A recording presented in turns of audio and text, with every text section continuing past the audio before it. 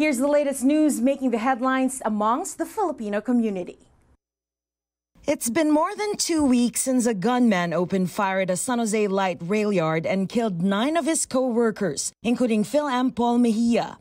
And now Mayor Sam Liccardo has proposed first of its kind gun restrictions, which would require every gun owner to have liability insurance coverage for their firearms and for them to pay a fee to compensate taxpayers for the public cost to respond to gun violence. Gun stores will also be required to audio and video record all gun sales. Liccardo's proposals also prohibit the sale of ghost guns, which are assembled without a serial number and requires a fingerprint to buy ammunition.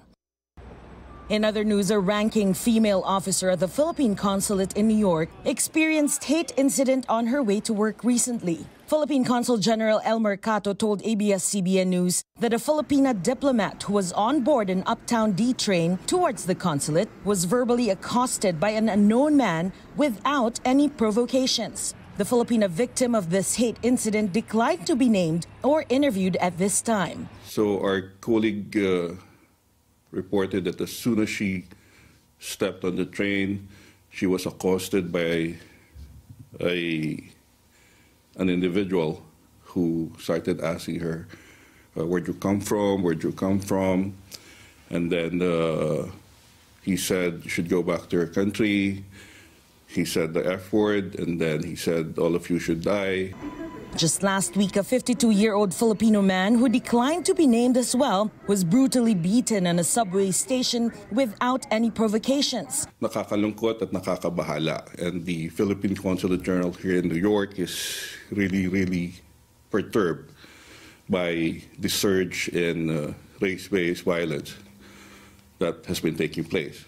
So we again request the assistance of authorities here in New York City to ensure that members of the Filipino community, members of the Asian American and Pacific Islander community would feel safer while they're out there.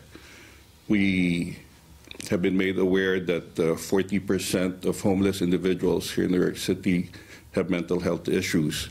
And we hope that authorities in New York would take the necessary measures to address this concern as most, if not all, incidents of Asian hate crimes involve individuals with mental health issues. Members of the Filipino American community are encouraged by the Consul General to report hate incidents or hate crimes to the consulate after reporting the incident to the police. In California, officials are reaching out to 70-year-old Philam Cesar Echano after he was sucker punched at the Cerritos, California public park last week. Several local officials, including Philam Cerritos Councilman Frank Aurelio Yokoyama, have reached out to Echano.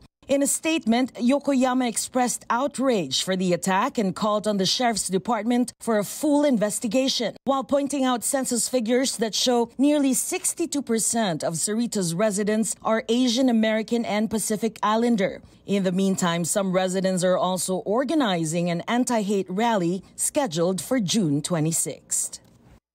And those were the latest headlines from North America. You can catch our stories on Balitang America on I Want TFC and the ABS-CBN News YouTube channel. Back to Mike and Nikki for the rundown.